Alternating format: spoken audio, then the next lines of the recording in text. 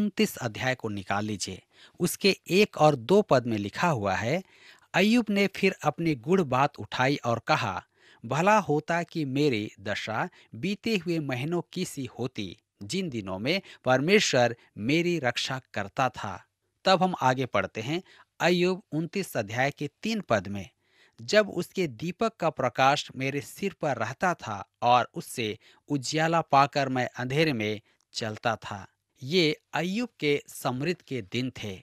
अयुब उनतीस उसके चार पद में लिखा है, वे तो मेरी जवानी के दिन थे, जब परमेश्वर की मित्रता मेरे डेरे पर बनी रहती थी।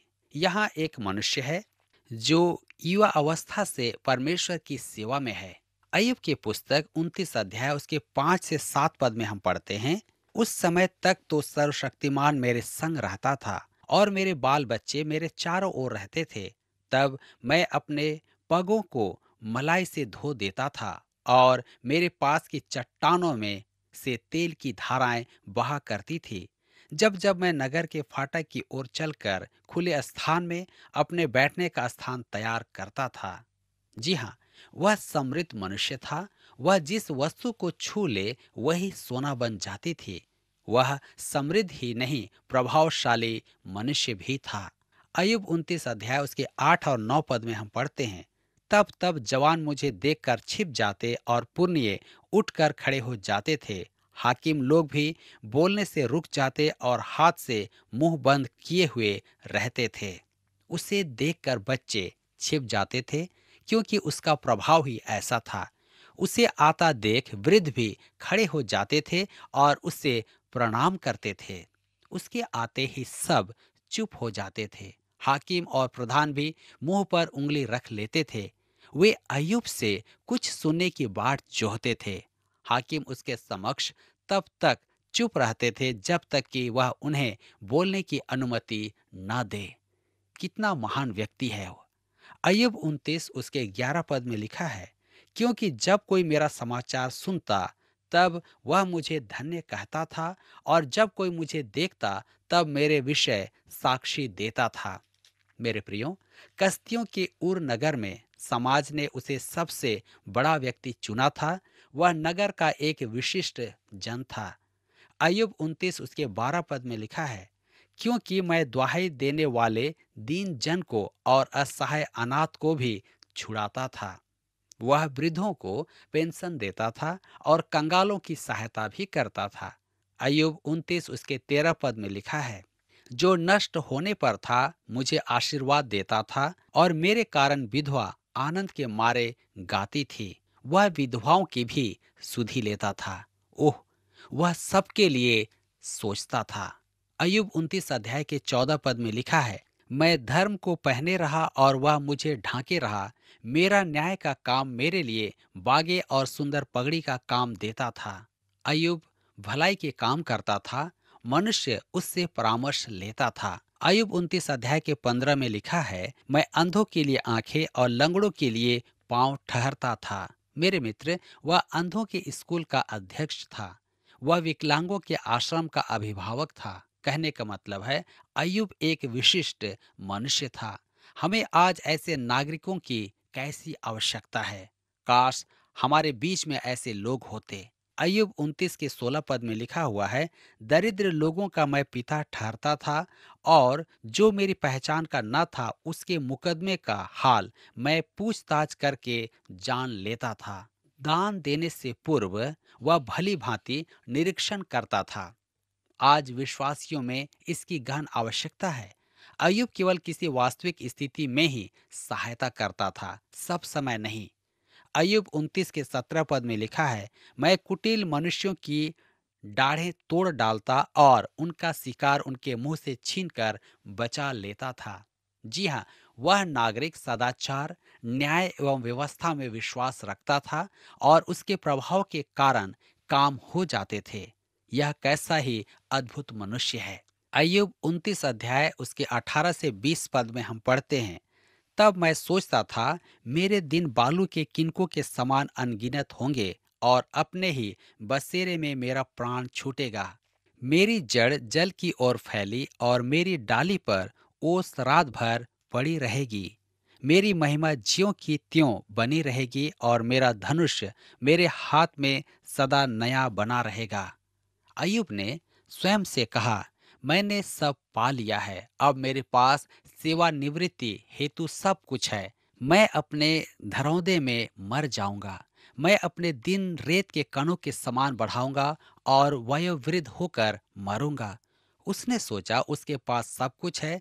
उसके पास एक अच्छा परिवार है अच्छा स्वास्थ्य है। कोई कल्पना नहीं कर पाता था कि अयुब के पास कोई वस्तु नहीं है। अयुब की पुस्तक 29 अध्याय उसके 21 से 23 पद में लिखा है, लोग मेरी ओर कान लगाकर ठहरे रहते थे और मेरी सम्मति सुनकर चुप रहते थे। जब मैं बोल चुकता था, तब वे और कुछ न बोलते थे। मेरी बातें उन पर मेह के समान वर्षा करती थी। जैसे लोग बरसात की, वैसे ही मेरी भी बाढ़ देखते थे। और जैसे बरसात के अंत की वर्षा के लिए, वैसे ही वे मुँह पसारे रहते थे।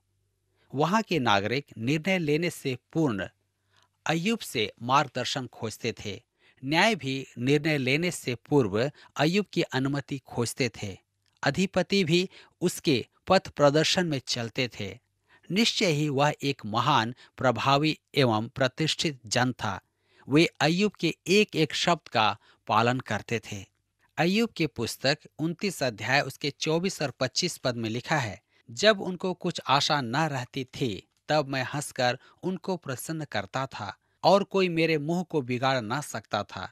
मैं उनका मार्ग चुन लेता और उनमें मुख्य ठहर कर बैठा करता था और जैसा सेना में राजा या विलाप करने वालों के बीच शांति दाता वैसा ही मैं रहता था। अयुब जीवन की परम ऊंचाइयों पर था वह मान सम्मान, प्रभाव और समृद्धि का जीवन जी रहा था। वह धनी एवं बड़ा उद्योगपति था। वह एक आदर्श पुरुष था, जिसकी अभिलाषा में आज मनुष्य प्रयासरत है। उसका जीवन भलाई का था। वह जानता था कि समृद्धि का जीवन क्या है। परंतु अयुब मिथ्या स्वर्ग में था। स्मरण करें कि उसने अध्याय तीन में क्या कहा था।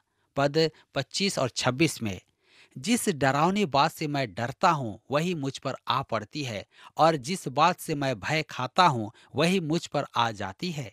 मुझे न तो चैन, न शांति, न विश्राम मिलता है, परंतु दुख ही दुख आता है। जी हाँ उसे अपने धरौदे के उजड़ने का डर था और वही हुआ भी।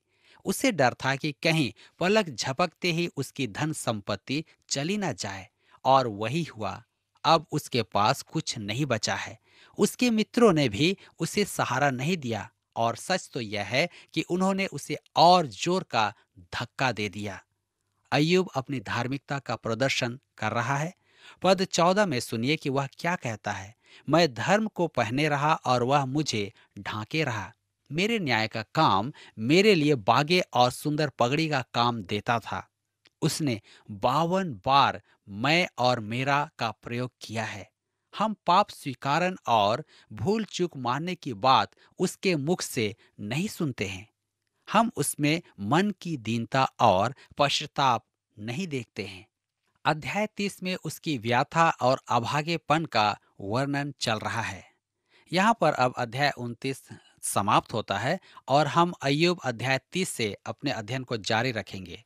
अध्याय तीस उसके एक पद में लिखा है परंतु अब जिनकी आयु मुझसे कम है, वे मेरी हँसी करते हैं।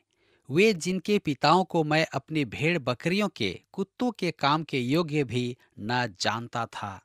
ध्यान दीजिए, मैंने अपनी पूर्व स्थिति का वर्णन किया है, परंतु अब ये धूर्त आकर मुझ पर कीचड़ उछाल रहे हैं। उनकी बातें मेरे किसी काम की नहीं है।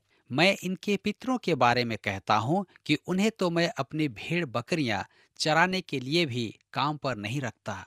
आगे लिखा है अयुब तीस अध्याय के दो और तीन पद में, उनके भुजबल से मुझे क्या लाभ हो सकता था? उनका पौरुष तो जाता रहा। वे दरिद्रता और काल के मारे दुबले पड़े हुए हैं। वे अंधेरे और सुनसान स्थानों में सूखी धूल फांकते हैं। वह इन अयोग्य धूर्तों की निंदा करता है। आगे लिखा है अयुब तीस उसके नौ और दस पद में, ऐसे ही लोग अब मुझ पर लगते गीत गाते और मुझ पर ताना मारते हैं। वे मुझसे घिन खाकर दूर रहते या मुँह पर थूकने से भी नहीं डरते हैं। वे अयुब के बारे में निंदा के गीत गा रहे थे। वह जानता था कि युवा लफंगों द्वारा निंदा का प्राप्त होना क्या होता है। मेरे मित्र, मैं आपके बारे में तो नहीं जानता, परंतु मैं अयुब की बातें सुनते सुनते ऊब गया हूँ। पहले तो उसने अपनी महानता की चर्चा की, अब वह सहानुभूति के लिए कह रहा है, मैं कैसा महान मनुष्य था, पर अब देखो मेरी क्या दशा हो गई है। यह किसका दोष है? मेरे प्रियो, परमेश्वर को क्यों दोष दें? आज अनेक विश्वासियों का यही हाल है। परमेश्वर को दोष देना संभव है, परंतु बड़ी पवित्रता से। मुझे सब आशीषें प्राप्त थी। मैं कितना सक्रिय था। मैंने मानव सेवा की और अब मुझे देखो कि मैं कितने कष्ट में हूँ। जो भी हुआ इसलिए हुआ कि परमेश्वर भला है। इसलिए नहीं कि वह भला नहीं है। विश्वासी के जीवन में जो भी होता है, इसलिए होता है कि परमेश्वर उसके जीवन में कोई लाभकारी कार्य कर रहा है। आइए देखें अंत में अयुब कहता है, अयुब तीस अध्याय के इकतीस पद में, इस कारण मेरी वीणा से विलाप और मेरी बांसुरी से रोने की ध्वनि निकलती है। उसकी वाणी वीणा है। वह केवल विलाप का गीत ही गा सकता था। उसकी बांसुरी, उसका रुदन था। वाणी और आँसू एक हो गए थे, अर्थात उसका गला घुट रहा था। रोने के अतिरिक्त कुछ भी नहीं बचा था। उसकी दशा ऐसी हो गई थी। वह सहानुभूति खोज रहा था और निश्चय ही ऐसे मनुष्य पर दया दर्शाना चाहिए। तथापि आप देखेंगे कि उसमें दीनता नहीं है। उसके जीवन में परमेश्वर असहाय कर दिया गया था। वह एक अभिमानी पुरुष था। वह परमेश्वर को सही कहने की अपेक्षा स्वयं को सही कह रहा था। सच तो यह है कि वह परमेश्वर को दोष दे रहा था। जी हाँ अयुब की समस्या क्या थी? यह उसका घमंड था। घमंड ही के कारण तो शैतान का पतन हुआ था। अदन की वाटिका में भी यही पाप हुआ था। यह मनुष्य के मन का कैंसर है। घमंड का यह भयानक पाप हम सब के जीवन में है। मेरे मित्रों अयुब अपना प्रतिवाद अब समाप्त करता है। अध्याय 31 में हम देखते हैं कि अयुब के प्रतिवाद का अंत है। उनका वाद विवाद टक्कर की प्रतियोगिता थी। अयुब के विपक्ष में उसके तीनों मित्रों ने सहकारी प्रयास किया, उसे हरा दें और वह अंततः स्वीकार कर ले कि वह बहुत बड़ा अर्थात महापापी है। उनका तर्क, जैसा हमने देखा, यह था कि यदि उसने महापाप न किया होता तो परमेश्वर उस पर ऐसा घोर कष्ट नहीं आने देता। वाद विवाद के तीन सत्रों के पश्चात वे हार गए, जिसका प्रमाण यही है कि सोपर ने अयुब को उत्तर नहीं दिया और अपनी बात कहता गया। उन्होंने उसे कोने में कर दिया था, परंतु वह लड़ते लड़ते कोने से निकल आया था, अपनी रक्षा में। वह परमेश्वर को दोष देता था। परमेश्वर ने उसे दंड देकर अनुचित काम किया है। संभवतः मनुष्य सबसे बड़ा मूर्खता का काम करता है। वह अपने आप को उचित कहता है, जब परमेश्वर उस पर पाप का दोष डालता है। जी हाँ जिस पल आप अपने आप को उचित ठहराना आरंभ करते हैं, उसी पल परमेश्वर आप पर उंगली उठाकर आपको बता देता है कि आप क्या हैं। बुद्धिमानी और उचित स्थिति तो यही है कि हम स्वयं को पूर्ण रूप से दोषी माने और अपने आप को परमेश्वर के हाथों में छोड़ दें। जब हम ऐसा करते हैं, तब परमेश्वर हमें धर्मी ठहराता है। जो अपने आप को धर्मी कहे, उसके लिए केवल परमेश्वर का प्रकोप है, और वह जो स्वयं को दोषी ठहराए, उसके लिए केवल अनुग्रह है। यह हमें अपने जीवन में स्मरण रखने के लिए अत्यधिक महत्वपूर्ण है। मेरे मित्रों, दीनता एक ऐसा गुण है, जिसकी हम प्रशंसा करते हैं और मनुष्यों में देखना भी चाहते हैं। एक आधुनिक बॉक्सिंग प्रतियोगिता को पत्रिका में इस तथ्य के साथ छापा गया, दीनता की सजावट कुछ कामों में व्यवसायिक अनिवार्यता है, विशेष करके राजनीति और बॉक्सिंग में विजय पाने के लिए। जो इसकी अवहेलना करता है, उस पर जनता का क्रोध प्रकट होता है। हम चाहते हैं कि हमारे विजेता दीन बने, जब वे किसी अभागे को हमारे मनोरंजन के लिए चित कर दिया हो तो जो लुइस और राकी मार्सियानो की नाई कहे, उसने अच्छी कुश्ती लड़ी। मेरे मित्रों, यह मानव स्वभाव है कि घमंड करें। यह बॉक्सरों का स्वभाव ही नहीं, यह मानव स्वभाव है। अयुब की पुस्तक से हमें शिक्षा मिलती है कि परमेश्वर के समक्ष हम जैसे हैं, वैसे ही हों। परमेश्वर यही चाहता है कि हम उसके समक्ष अपना प्रतिवाद नहीं रख सकते। अपना बड़कपन या अपना बड़ा काम दिखाने वह किसी काम का नहीं है। यह एक सर्वथा निश्चित बात है कि परमेश्वर ऐसा अभिमान तोड़ेगा।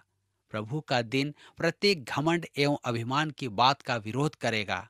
अतः हमारे लिए यह बुद्धिमानी की बात है कि हम दीन एवं नम्र बने, क्योंकि नम्रता के द्वारा ही हम परमेश्वर और उसके उद्धार का उचित परिप्रेक्ष्य अंतर ग्रहण कर पाते हैं। मेरे प्रियो, वेदी की पुकार में आगे आना आज एक प्रचलित अभ्यास है, परंतु वह उद्धार नहीं दिलाता। इसका कारण है कि अनेक जन घमंड के साथ सामने आते हैं। क्या आपने परमेश्वर के वचन में मन की दीनता के बारे में पढ़ा है कि परमेश्वर उसे कैसा स्वीकार्य कहता है? भजन संहिता चौंतीस, उसके अठारह पद में व्यक्त है यह हुआ टूटे मन वालों के समीप रहता है और पिसे हुओं का उद्धार करता है। जी हाँ आप स्वयं देख सकते हैं कि वास्तविक मन फिराव की स्थिति यही है। हमें दाऊद की नाई इसे अंतर्ग्रहण करना है। दाऊद ने भजन संहिता इक्यावन में अपना पश्चाताप और पाप स्वीकार किया है। भजन संहिता इक्यावन के सत्रह में लिखा हुआ है, टूटा मन परमेश्वर के योग्य बलिदान है। हे परमेश्वर, तू टूटे और पिसे हुए मन को तुच्छ नहीं जानता। मेरे मित्रों, परमेश्वर से व्यवहार करते समय आप उसके बराबर नहीं और न ही अपनी अकिंचन भलाई को उसके सामने रख सकते हैं। हमें यह स्पष्ट जान लेना है कि हम परमेश्वर के समक्ष मन की दीनता में आते हैं। यह संपूर्ण बाइबल की शिक्षा है। यह सह नबी की पुस्तक संतावन अध्याय उसके पंद्रह पद में परमेश्वर के विषय में लिखा है, जो महान और उत्तम और सदैव स्थिर रहता है और जिसका नाम पवित्र है, वह यूँ कहता है, मैं ऊँचे पर और पवित्र स्थान में निवास करता हूँ और उसके संग भी रहता हूँ जो खेदित और नम्र है, कि नम्र लोगों के हृदय और खेदित लोगों के मन को हर्षित करो दीन और नम्र मन की समस्या राजनेताओं या बॉक्सरों या किसी प्रकार के खिलाड़ी ही नहीं, परंतु सब विश्वासियों की है और विशेष करके परमेश्वर के सब सेवकों की। मेरे विचार में हम कह सकते हैं कि अहंकार और आत्माभिमान परमेश्वर के सेवकों में प्रकट हो तो अत्यधिक अस्वीकार्य होते हैं। फिलिपियों की पत्री दो अध्याय के सात पद में लिखा है अपने आप को ऐसा शून्य कर दिया और दास का रूप धारण किया और मनुष्य की समानता में हो गया। मेरे प्रियो, विश्वासी का घमंड इस प्रभु यीशु से कैसा असंगत है? घृणित, अहंकारी, स्वाभिमानी, मसीही आचरण और मसीही सेवा जघन्य बात है। इससे अंतिम भाग में अयुब ग्रहण योग्य प्रतीत नहीं होता है, क्योंकि वह स्वयं ही अपनी प्रशंसा में कहता है कि वह कैसा महान प्रभावशाली, भला मनुष्य था और फिर वह अपनी दशा पर सहानुभूति की याचना करता है। अपने प्रतिवाद के अंत में भी वह स्वयं को ही अत्यधिक भला मनुष्य कहता है।